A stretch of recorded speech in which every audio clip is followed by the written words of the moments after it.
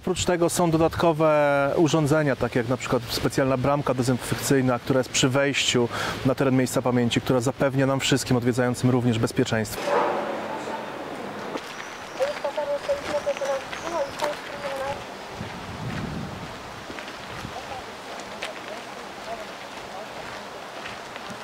Na dziś możemy powiedzieć, że te pierwsze dni to rezerwacje na poziomie mniej więcej 8% z poprzedniego roku, ale mamy nadzieję, że to będzie e, cały czas wzrastać.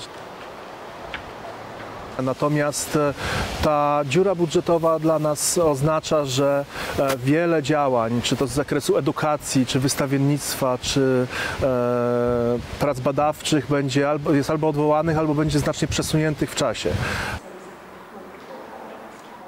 快点，快点，快点，快点！